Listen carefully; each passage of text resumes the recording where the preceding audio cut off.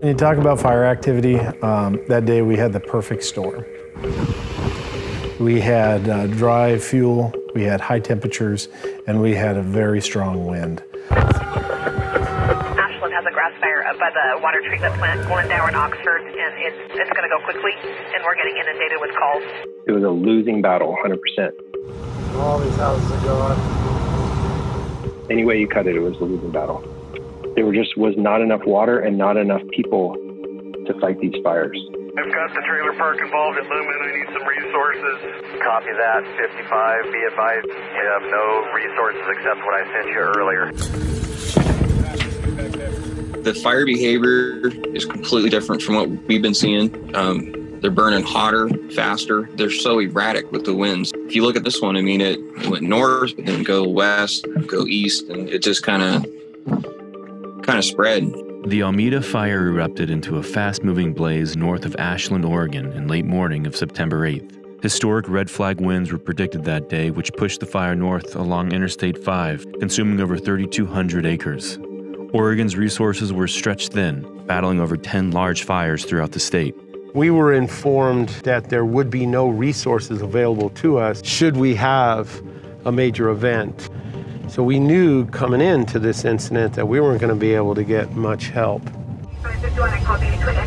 Jackson County Fire District 5 and the Ashland Fire Department were the first units to respond.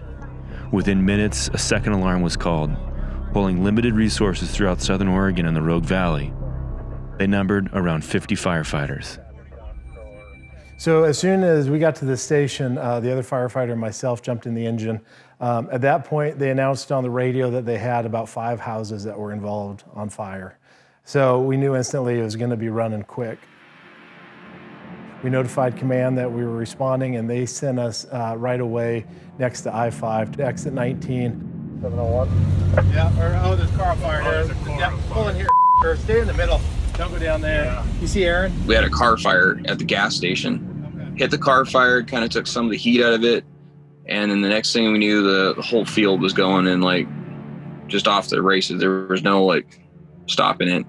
While units from District 5 battled the flames south of Exit 19, spot fires began to burn to the north, threatening the Bear Creek Mobile Home Park. 8311, we're on the south side of Low Road, the trailer park.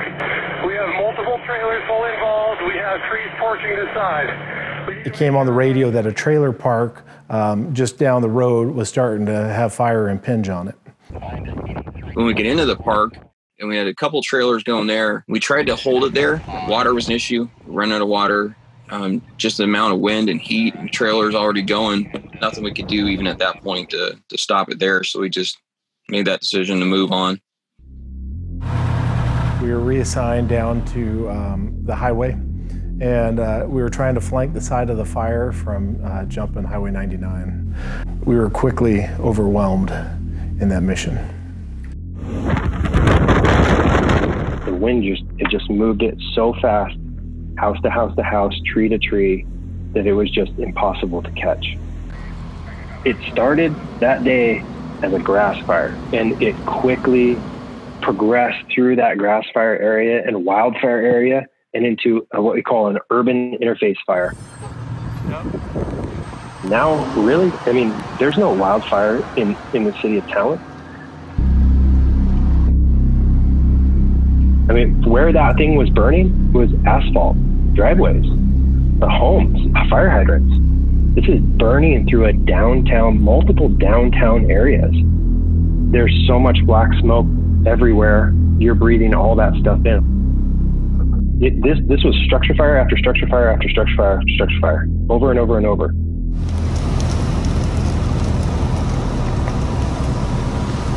The video shows basically all the buildings on fire. I think that was kind of the part uh, where it really sunk in. And it was kind of a moment of defeat because you realize the scope of the damage.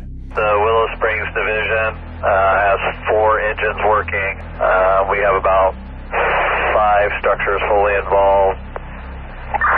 The fire continued north through the business corridor of Talent. Fire District 5's Chief Hanley took command of the four engines assigned to the Willow Springs Division. Their job was to protect two subdivisions and a retirement community between Autumn Ridge Road and Willow Springs Drive. What's the hose in the road So Autumn Ridge. By the time the fire got to Autumn Ridge, it was just consuming, you know, homes in just a few minutes. Imagine the volume of flame and smoke that was coming across all of this area. This was uh, not smoke uh, plumes and flames are going up in the air. They were being sheeted across. We're thinking, you know, that we can make a stand, and next thing we knew, that that spot fire in Autumn Ridge blew up. It's making a run through there, and about the time I took those few pictures, the wind felt like it was going to kind of settle down a little bit, and then it just the winds picked back up, and everything just went to pieces again. At this point, it's not just only talent burning. Phoenix is burning at this time. Um, and it was probably that same time that I found out that our uh, fire station three was burning. So at that point, we probably had six firefighters for two neighborhoods. Go ahead for task force two. So there's probably 40 to 60 homes in that entire area. Probably over half of the neighborhoods are gone. As the fire continued into Phoenix, crews were reassigned to Talent Avenue. Their objective was to keep the fire burning east of the road. If the fire crossed Talent Avenue, they would lose the rest of the town. I'm told all Talent Avenue is yours. Don't let it cross the road. And here's what you have for the rest of the night. And that's when uh, I got working with Kurt. So his engine was one of the ones that was working for me. When Talent Avenue really started lighting off, that of course is when the hydrants went dry. We, we don't have enough water resources. Every single building was on fire when we came into the city. It was like, I don't even know where do we start. And then as soon as you felt like you were making some headway, maybe you'd run out of water and we'd have to refill. And as soon as you'd come back, that structure that you were working on is now gone. And it was kind of this almost head banging against the wall moment where you're like, there's nothing you can do to slow this. Seen a lot of through my career, and not a lot of it has ever really, I wouldn't say bothered me, but it, especially at the time, I can just work through it. I really realized that, like, holy, like, guy, we're hearing reports that the, the mall's on fire. We're hearing all this that is making a run through Medford. And my wife's texting me. She's asking if she should evacuate. And so there's just all these things, kind of pressures hitting me.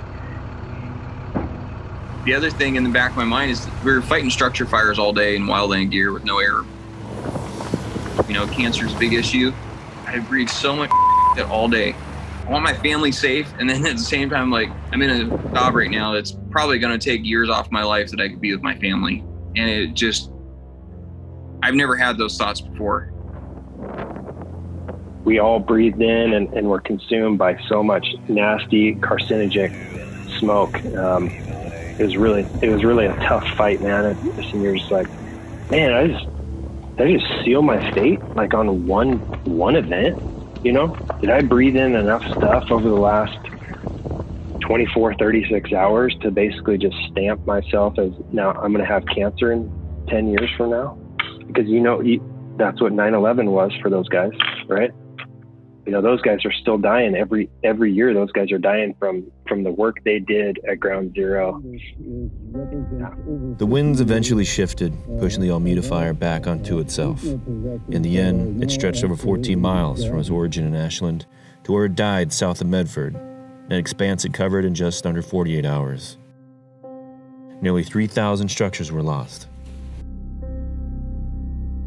You know, it, it's very overwhelming and it's very surreal when you watch your community burn down.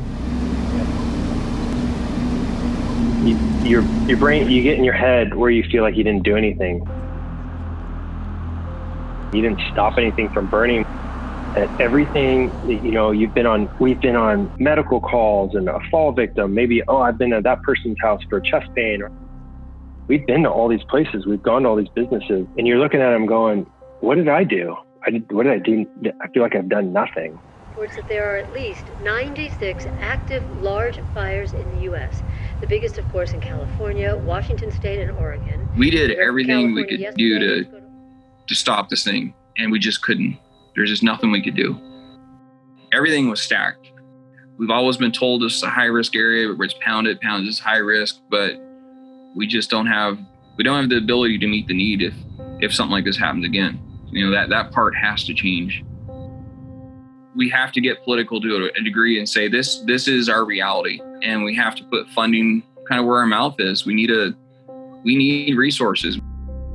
So I don't believe these fires are going away. Um, they're going to keep getting bigger. We're going to keep setting new records. Um, the fire service is always going to push for fire prevention. Um, when it comes down to these large scale incidences, these mega fires or super fires that we've been having, um, resources are the number one key that, uh, that we're going to be able to handle them. It, it's tough to it's tough to think that this won't ever happen again. Like if you look at the way our weather is and the recoveries of the forests, it really just burned uh, through a, a greenway that had like a bike path and lots of fuel in it, and then got into these cities and ripped through these cities. But as far as a huge wildfire, still prime. It's still right there to burn.